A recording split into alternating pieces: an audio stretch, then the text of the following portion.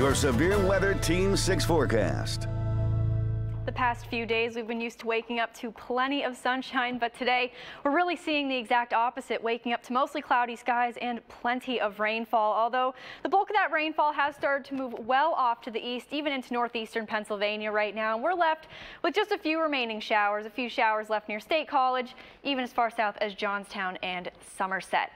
So here's a look at our weather eye in Bedford. Still seeing a few light showers there, and that'll start to taper off as we head into the early afternoon. But temperatures still not doing too bad today. Into the 50s, even 60s out west near Pittsburgh. 63 in Pittsburgh. State College at 54. Altoona also at 54 degrees.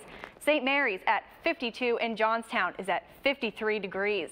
So over the next couple days, we are going to keep these warmer temperatures with us, but Friday, it's going to be a pretty windy day. We're going to be keeping an eye on that over the next few days, but the weekend looks like we're going to have a nice start to the weekend on Saturday with plenty of sunshine. So while the winds aren't really too much of a concern for today, they are going to ramp up tomorrow night into Friday morning. So here's a look at our wind gusts for Friday night, we could see wind gusts up to 30 miles per hour, but they get even stronger as we head into Friday. Late in the night, Thursday into Friday, wind gusts still in the upper 20s and low 30s, but Friday morning is when we're going to see some pretty strong wind gusts and even the possibility for a few power outages. Wind gusts 40 to 50 miles per hour to start your day on Friday. So here's a look at Futurecast throughout the rest of the day today.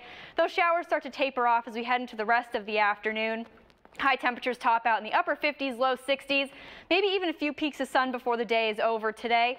Then we'll stay dry for much of the day on Thursday, and it is going to be a warm one. Temperatures making its way into the 70s for Thursday before some more rain moves in for Thursday night into Friday. So look at those high temperatures for tomorrow. Going to be one of the warmest days we've seen in quite a while. Northern Alleghenies into the mid 70s. Then for our Laurel Highlands, low 70s to even mid 70s in a few spots, and then eastern Alleghenies going to see temperatures into the mid 70s.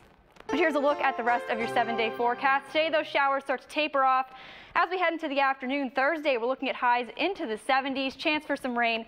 Thursday night into Friday, first half of the weekend looking good. Saturday, sunshine and highs in the 50s. We do cool off to start next week, but we will see some sun.